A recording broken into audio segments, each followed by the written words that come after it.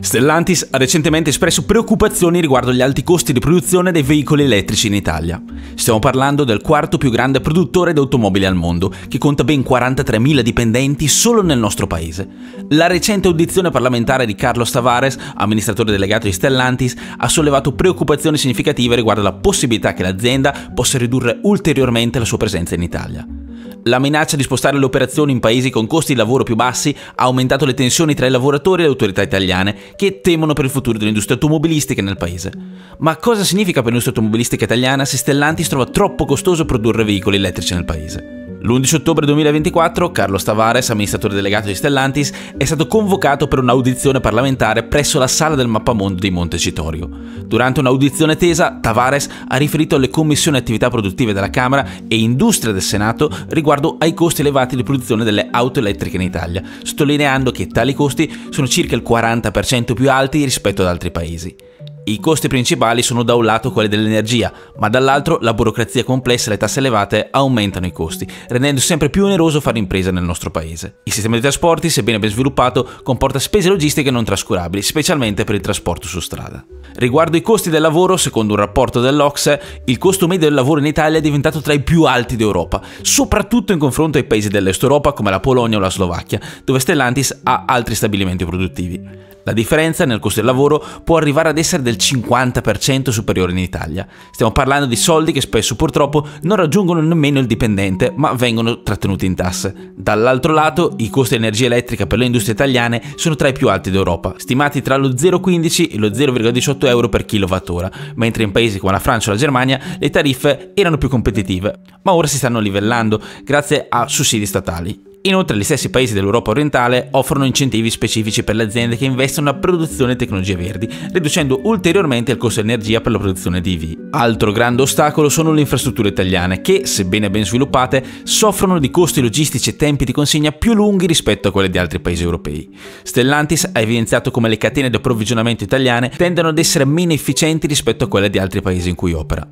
Uno studio del 2022 della Confindustria ha mostrato che i costi logistici in Italia sono superiori del 15 o 20% rispetto alla media europea. Questi elevati costi di produzione hanno un impatto diretto ovviamente sul prezzo finale dell'automobile prodotta.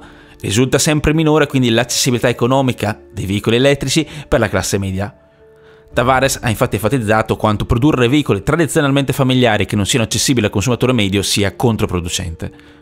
Per questo ha inoltre chiesto nuovi incentivi statali per stimolare la domanda di veicoli elettrici, attualmente molto bassa in Italia. Proposta che non è stata presa per niente bene né dal governo che dalle opposizioni.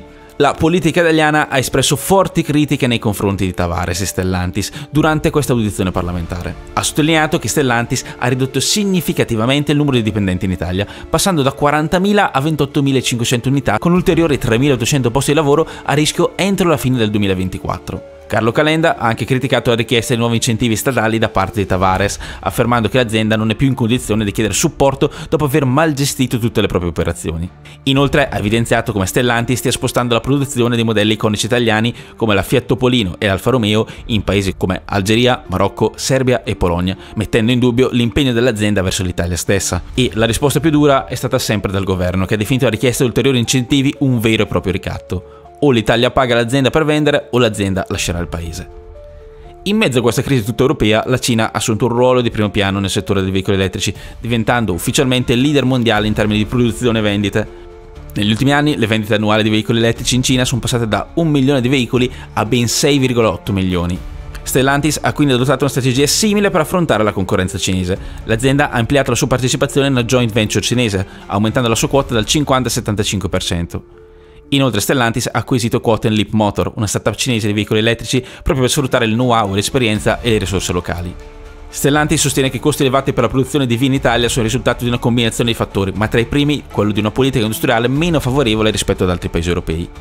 E se l'Italia vuole mantenere un ruolo di primo piano nella produzione automobilistica e facilitare la transizione verso veicoli elettrici, saranno necessari interventi più incisivi, ma lo stesso all'interno di un quadro europeo. L'alternativa potrebbe essere quella di vedere proprio le aziende automobilistiche spostare sempre più produzione verso paesi con costi più bassi, mettendo a rischio decine di migliaia di posti di lavoro nell'industria automobilistica italiana.